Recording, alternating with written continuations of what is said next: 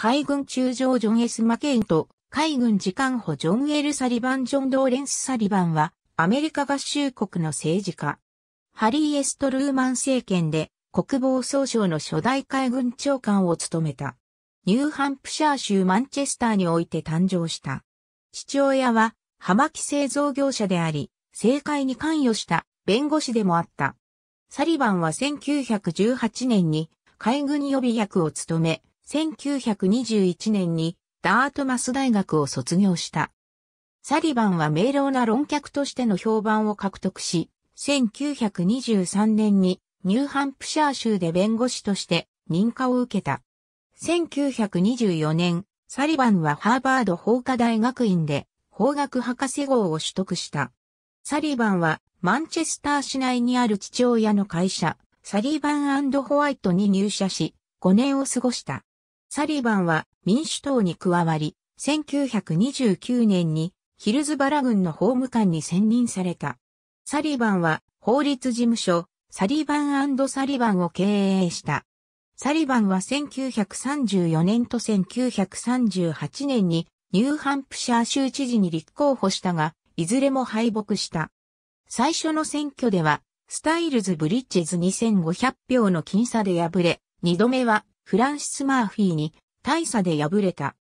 1937年、サリバンは在郷軍人会のニューハンプシャー州支部で支部長を務めた。1939年、サリバンは内国歳入庁長官補佐となり、ワシントン DC へ移った。1940年、サリバンはフランクリン・ルーズベルト大統領から財務次官補に指名され、1944年まで務めた。サリバンは政治的な鋭さを発揮し、全国的な知名度を獲得した。サリバンは戦時財源を調査し、議会に提出する戦時予算を作成した。財務次官補としてのサリバンの貢献は高く評価され、1947年に財務省厚労省及び銀賞を授与された。第二次世界大戦終戦間際の1945年、サリバンは航空担当海軍次官補に任命された。サリバンの就任宣誓式は太平洋戦域の空母シャングリラ艦上で行われた。同年、サリバンは戦時の海軍活動の実態を知るため、総距離2万5千マイルを移動した。サリバンは1946年に海軍次官に昇格した。1947年に国防総省が設立されると、国防長官に就任したジェームズ・フォレスタルの後任として国防総省最初の海軍長官に就任した。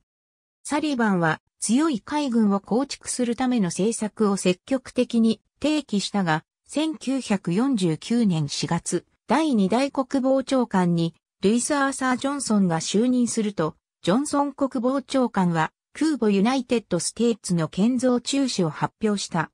サリバンはこれに抗議し、翌5月に海軍長官を辞任した。この出来事は、提督たちの反乱の一部として知られている。